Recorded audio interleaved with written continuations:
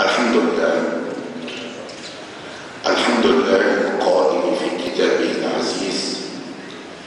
يا أيها الذين آمنوا لا تأكلوا أموالكم بينكم بالباطل إلا أن تكون تجارة عن طراد منكم ولا تقتلوا أنفسكم إن الله كان بكم رحيما ومن يفعل ذلك عدوانا وظلما فسوف نصليه نارا.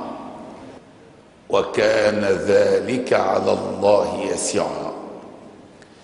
أحمدك اللهم حمدا يليق بجلالك واثني عليك ثناء يليق بعظمتك.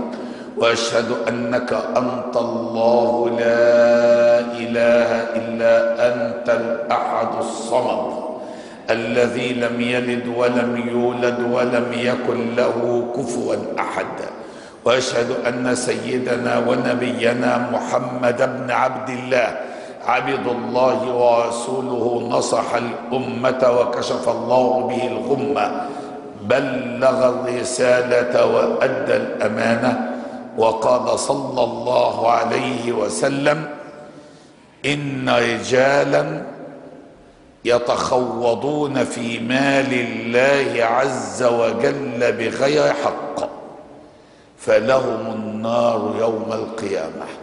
نعوذ بالله من ذلك. اللهم صل وسلم وبارك على سيدنا محمد وآله وصحبه ومن تبع هداه إلى يوم الدين. وبعد. فقد عني ديننا الحنيف بكل ما ينظم شؤون حياة الناس وهو فن صناعة الحياة لا صناعة الموت. وعني بكل ما يحقق الأمن النفسي والأمن المجتمعي للناس. فما أجمل أن يعيش الناس في أمن نفسي وطمأنينة على شؤون حياتهم. وما أسوأ أن يكون الناس في خوف وهلع ولا سيما عندما يتصل الأمر بالغش في طعامهم أو في شرابهم أو في دوائهم أو في كسائهم أو في متطلبات حياتهم. ومن هنا وضع الإسلام قواعد واضحة. وقال نبينا صلى الله عليه وسلم البيعان وهما البائع والمشتري معا. بالخيار ما لم يتفرقا فإن صدقا وبينا كل منهما فإن صدقا وبينا بورك لهما في بيعهما. وإن كذبا وكتما كذب في أي شيء يتصل بالبيع وكتم البائع عيوب سلعته.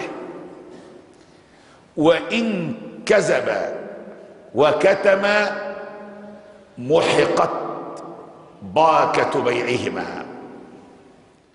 ويقول النبي صلى الله عليه وسلم إياكم إياكم وكثرة الحلف في البيع. الذين يحلفون كثيرا بغير حق. إياكم وكثرة الحلف في البيع. فإنه ينفق السلعه ربما تبيع لكنه يمحق البركة. إياكم وكثرة الحلف في البيع. فإنه ينفق السلعة ويمحق البركة ويقول صلى الله عليه وسلم ثلاثة لا يكلمهم الله عز وجل ولا ينظر إليهم يوم القيامة. رجل حلف على سلعة أعطى بها أكثر مما أعطى. يقول لك أقسم وهو كاذب. يقسم أنه اشتراه بكذا وأن البيعة عليه بالخسارة وأنه كذا وهو في كل ذلك كاذب. هؤلاء لا يكلمهم الله يوم القيامة ولا ينظر إليهم وإن صاموا وصلوا وذكروا وسبحوا وقرأوا القرآن وانقطعوا في بيوت الله وزعموا أنهم مسلمون. لا يكلمهم الله ولا ينظر إليهم. رجل حلف على سلعة أعطى بها أكثر مما أعطى وهو كاذب. ورجل حلف على يمين كاذبة ليقتطع بها مال امرئ مسلم. ورجل منع فضل مائه. فيمنعه الله فضله يوم القيامة ويقول له اليوم أمنعك فضلي كما منعت فضل ما لم تعمل يدك. واختصم رجلان عند سيدنا رسول الله صلى الله عليه وسلم. أحدهما من حضرموت والآخر من كندة. فقال الحضامي للنبي صلى الله عليه وسلم يا رسول الله إن هذا الرجل غلبني على أرض لي ورثتها عن أبي أخذ أرضي عنوة. فقال الكندي يا رسول الله هي أرضي في يدي أزرعها وليس له عندي شيء. فقال النبي صلى الله عليه وسلم للحضامي ألك بينة؟ عندك عقد عندك شهود عندك دليل على أن هذه الأرض لك؟ قال لا يا رسول الله. قال النبي صلى الله عليه وسلم ليس لك إلا يمينه. ما دامت لا توجد لك بينة البينة على من ادعى واليمين على من أنكر. ليس لك إلا الحلف. فقال الحضامي يا رسول الله إن الرجل فاجر. لا يبالي على أي شيء حلف. كما يقولون في المثل العامي إذا قالوا للص احلف فقال فقد جاءك الفرج قال يا رسول الله إن الرجل فاجر. لا يبالي على أي شيء حلف. فلما أقبل الرجل ليحلف قال النبي صلى الله عليه وسلم أما والله أما والله لئن حلف على مال ليأكله ظلما ليلقين الله عز وجل وهو عنه معرض يوم القيامة. وقال صلى الله عليه وسلم من اقتطع حق امرئ مسلم فقد أوجب الله له النار وحرم عليه الجنة. لأن الجملة الأولى أوجب له النار قد تكون مدة محددة ثم يأتيه العفو الإلهي لكن وحرم عليه الجنة تأكيد على تخليده في النار. يقول النبي صلى الله عليه وسلم من اقتطع حق امرئ مسلم فقد اوجب الله له النار. يدخلها ابتداء. قالوا وإن كان شيئا يسيرا يا رسول الله قال نعم. وإن قضيبا من أراك. أي وإن كان مقدار عود سواك أو ما يساوي قيمة عود السواك. وكل جسد نبت من سحت فالنار أولى به. فالحرام قتل للنفس. يقول الحق سبحانه يا أيها الذين آمنوا لا تأكلوا أموالكم بينكم بالباطل إلا أن تكون تجارة عن تراض منكم. ولا تقتلوا أنفسكم. هذا تأكيد على أن من يأكل الحرام يقتل نفسه ويدمرها ولا تقتلوا أنفسكم. إن الله كان بكم رحيما. ومن يفعل ذلك عدوانا اعتداء على حقوق الآخرين وظلما لهم وظلما لنفسه. ومن يفعل ذلك عدوانا وظلما فسوف نصليه نارا.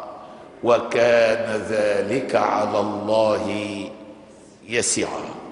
نعوذ بالله من الحرام ومن الغش والغشاشين والحلف الكاذب ونسأل الله أن يغنينا بحلاله عن الحرام وبفضله عمن سواه. توبوا إلى الله واسألوه العفو والعافية.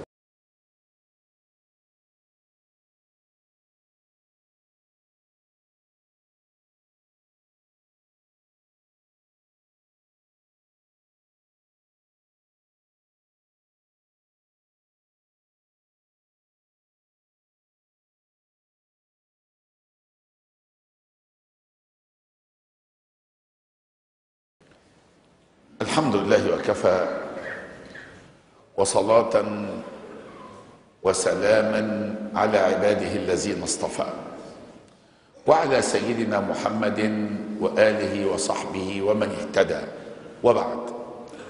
فهناك بعض الأيام أو المواسم أو المناسبات التي اعتاد الناس فيها الإقبال على الشراء مع أن الصوم في الأصل هو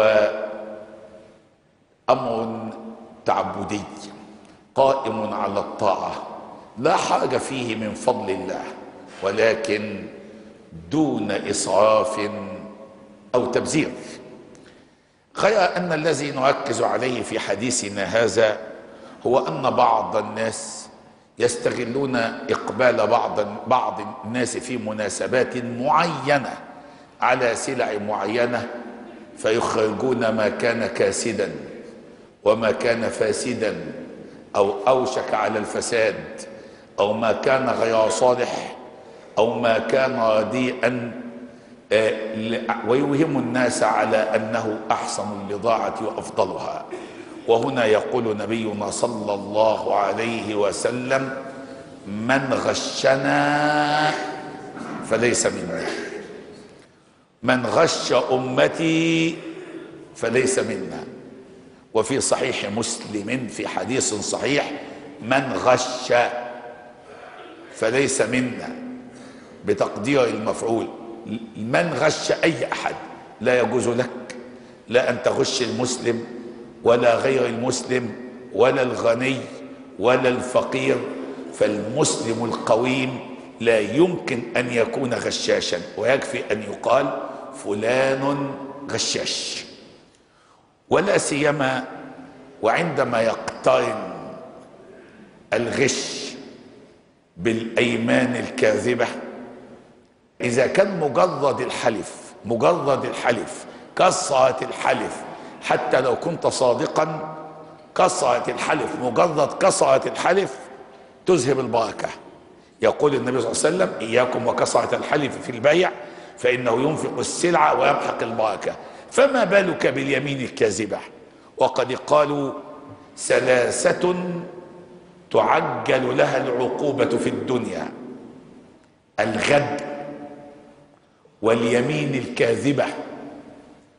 ويسميها العلماء اليمين الخموس لأنها تغمس صاحبها في نار جهنم. ورد المعتذر خائبا قالوا أيضا وعقوق الوالدين الإسلام قائم على الأمانة والتسامح والرحمة. لا يؤمن أحدكم حتى يحب لأخيه ما يحب لنفسه. فلا بد للبائع أن يضع نفسه موضع المشتري. وللمشتري أن يضع نفسه موضع البائع وأن يقوم الأمر على التراضي والتسامح إلا أن تكون تجارة عن تراض منكم. ويقول نبينا صلى الله عليه وسلم رحم الله امرا سمحا رحم الله امرا سمحا إذا باع سمحا إذا اشترى. سمحا إذا اقتضى. وقال صلى الله عليه وسلم دخل رجل الجنة بسماحته بسماحته قاضيا ومتقاضيا. وقال صلى الله عليه وسلم التاجر الصدوق الأمين. لم يقل التاجر المصلي ولا الصائم لأن التاجر إذا صلى وصام واعتكف في المسجد وحفظ القرآن واستظهر عن ظهر قلب ثم غش الناس فما انتفع بصلاة ولا صيام ولا زكاة ولا حج. إن الصلاة تنهى عن الفحشاء والمنكر. فمن لم تنهه صلاته عن الفحشاء والمنكر فلا صلاة له. ورب صائم رب صائم. ليس له من صومه إلا الجوع والعطش. ورب حامل للقرآن والقرآن يلعنه والعياذ بالله من ذلك. والقرآن حجة لك أو عليك.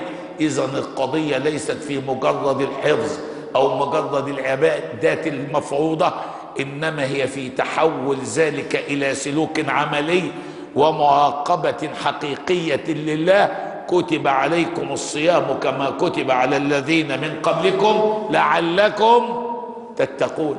والتقوى هي مراقبه الله في السر والعلن. قال التاجر من؟ الصدوق الأمين. مع النبيين والصديقين والشهداء والصالحين يوم القيامة. وقال صلى الله عليه وسلم التاج الصدوق في ظل عرش الرحمن يوم القيامة. أما عندما يتحول الأمر إلى ما يشبه النصب والاحتيال واستغلال عواطف الناس.